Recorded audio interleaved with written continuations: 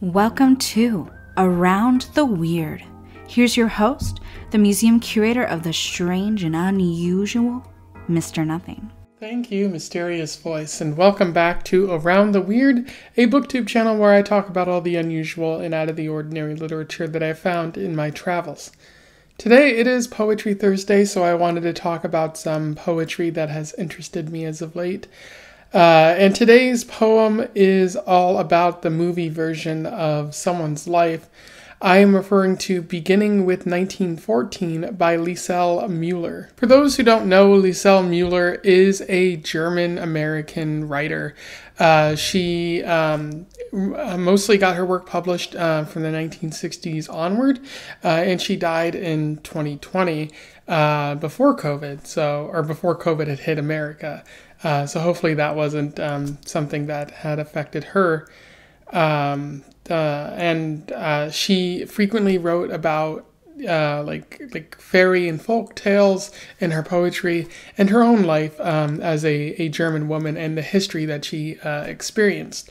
What's interesting is that uh, she like this poem kind of talks about it but uh, her father was an educator in the years leading up to um, hitler's rise to power.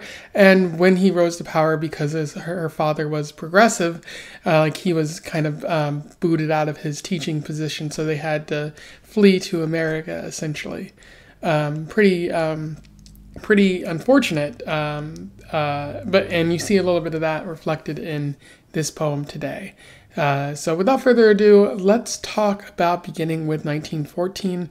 I will read it, do a little bit of analysis, and we will move on from there. Beginning with 1914. Since it always begins in the unlikeliest place, we start in an obsolete country on no current map. The camera glides over flower beds, for this is a southern climate. We focus on medals, a horse on a white uniform. For this is June. The young man waves to the people lining the road. He lifts a child. He catches a rose from a wrinkled woman in a blue kerchief. Then we hear shots and close in on a casket draped in the Austrian flag. 31 days torn off a calendar, bombs on Belgrade. Then Europe explodes. We watch the trenches fill with men, the air with live ammunition. A close up of a five year old living on turnips, her older sister, my not yet mother, already wearing my daughter's eyes, is reading a letter as we cut to a young man with thick glasses, who lies in a trench and writes a study of Ibsen. I recognize him. He is going to be my father, and this is his way of keeping alive. Snow, blood, lice, frostbite, grenades, stretchers, coffins, snow, telegrams with black borders. On the widescreen, my father returns bringing his brother's body, my mother's father brings back his sons from the opposite edge. They come together under the oaks of the cemetery. All who will be my family are here except my sister, who is not yet imagined. Neither am I, who imagined this picture, who now jumped to my snowy birthday in the year of the million mark loaf of bread. My early years are played by a blue eyed child who grows up quickly, for this is a film of highlights. Like all documentaries false to the life, the work of selective memory. All I can hear of a painful childhood, the swastika appears and remains as the huge backdrop against which we're seen. The soundtrack of a hysterical voice is threatening us. We're heard as whispers. Shortly before my city burst into flames, my stand in disappears from the film, which continues with scenes of terror and death I can't bear to watch. I pick up a new reel, a strange sequel set in a different location and made in another language, in which I am back. The colors are bright, the soundtrack is filled with music, the, gen- the focus gentle. A man is beside me. Time lapse photography picks up the inchmeal growth of daughters toward the sky, the slow subversion of dark by gray hair. Little happens. The camera sums up the even flow of many years in a shot of a river. The principals from part one are missing, except for me, who is the connection.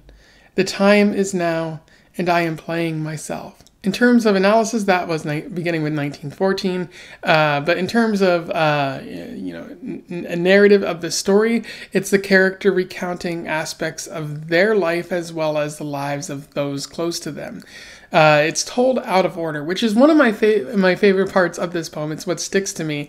How Mueller just jumps around from from like history point to history point, talking about uh, like a, a country that no longer exists, her grandparents. Um, uh, her her mother and her father losing people during World War One, uh, and then uh, uh, Lisel as a, as a child uh, having to grow up pretty quickly uh, which she says is due to them like uh, focusing on highlights uh, that it's not merely memory it's just highlights. But you could also interpret that meaning that she has to grow up pretty quickly because after world war one germany fell into a depression. And she specifically mentions the million mark loaf of bread like bread cost quite a bit of money uh, because of inflation during the time. So a young child might have to grow up pretty quickly if the family couldn't really afford the necessities and then um, focusing on uh, like Hitler's rise to power and uh, flashing forward into the future where she's kind of in a more peaceful place. But the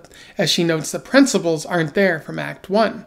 Uh, and I, what I think that means is that many of her family members are dead, um, and she's the only one who's left, which is pretty um, pretty sad uh, and unfortunate um, uh, about that. But uh, it's it's she does note that like um, that like things are, are a little better.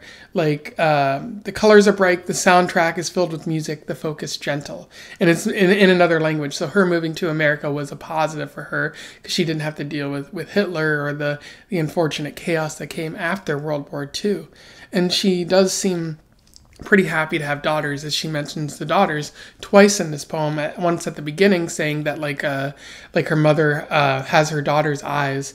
And um the uh the like uh the the inchmeal growth of daughters toward the sky uh indicating you know what's important to uh or the narrator at, at this point in the in the poem uh, and again, um, th- this poem does talk about you know the out of order sequence of of memory, uh, and I think some of that is because of what you can bear to remember. Like if you're if you had an unfortunate childhood, you're not going to try to remember everything. So things are going to look like a movie. They're not going to be sh- like in sequence. Some of them are going to be out of focus but also it's a it's a um, she's saying something about um, about about selective memory here. She's saying the work of selective memory, all I can bear of a painful childhood.